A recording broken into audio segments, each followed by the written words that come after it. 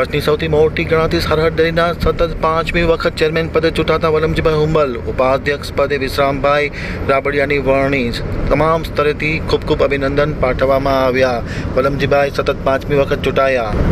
કચ્છની સૌથી મોટી ગણાતી સરહદ ડેરીના ચેરમેન તરીકે વલમજીભાઈ હુંબલની સતત પાંચમી વખત બિનહરીફ વરણી કરવામાં આવી હતી જ્યારે વાઇસ ચેરમેન તરીકે વિશ્રામ રાબડિયાની સર્વાનુમતે વરણી કરવામાં આવી હતી. અત્રે ઉલ્લેખનીય છે કે સતત પાંચમી વખત કચ્છની સરહદ ડેરીના ચેરમેન તરીકે ચૂંટાયેલા પદમજીભાઈ હુંબલ હાલ અમૂલ ડેરીના વાઇસ ચેરમેન તરીકે પણ કુશળ સેવા આપી રહ્યા